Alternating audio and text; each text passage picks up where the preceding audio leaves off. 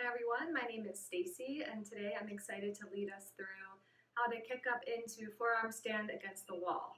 So first we'll try it without any props. Go ahead and grab a block if you have one. It'll be handy. We'll use it as one of our variations for kicking up against the wall. So for right now, if you have your block, put it to the side and make sure your mat is set up against the wall to start. So forearm stand, requires a lot of strength and openness in the body, particularly in our shoulders, our hamstrings, our core, among other things. And all of that really begins in dolphin pose. So to begin, bring our forearms down to the mat. Our fingertips are going to be about six inches or so, maybe a little less, away from the wall. So notice how my forearms are parallel. My fingers are spread wide on both hands and my shoulders are directly over my elbows here. So this is our foundational shape. Then from here, we lift our hips, finding dolphin pose. Start to walk the toes in towards the elbows. So this is where the hamstring opening comes into play. The further you walk your toes in, the more openness that uh, is really required in the backs of the legs. So just by holding this shape, dolphin pose, you're building a ton of strength in the forearms, in the core. You might even practice some dolphin push-ups by bringing the chin towards the thumbs and then pressing back.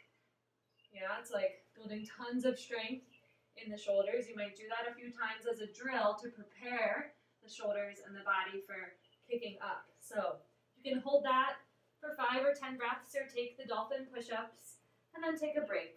Bring the hands back by the heels, find child's pose.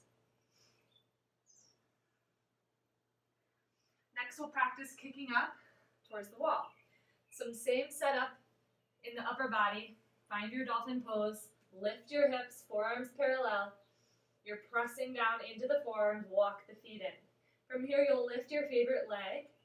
Go ahead and flex that foot of the lifted leg, keeping a closed hip, which will help give you a little more control as you take hops towards the wall. So, start to hop off the foot that's on the ground, gentle hops.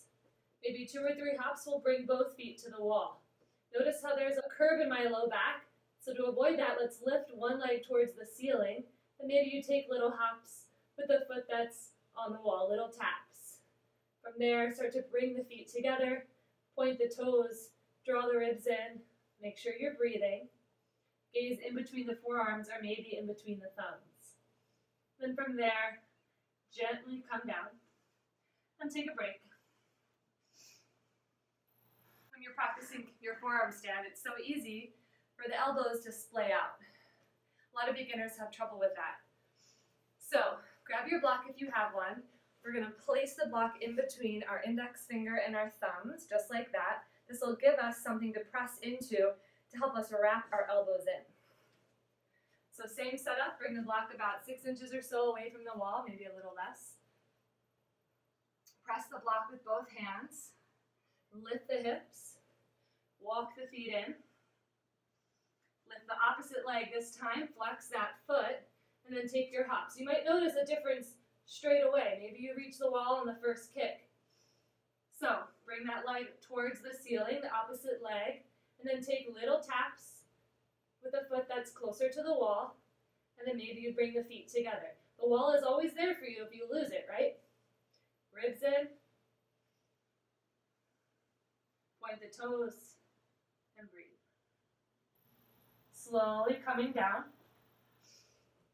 Take a rest. I hope that's helpful to help you work into your forearm stand against the wall with or without your block. So good luck and have fun.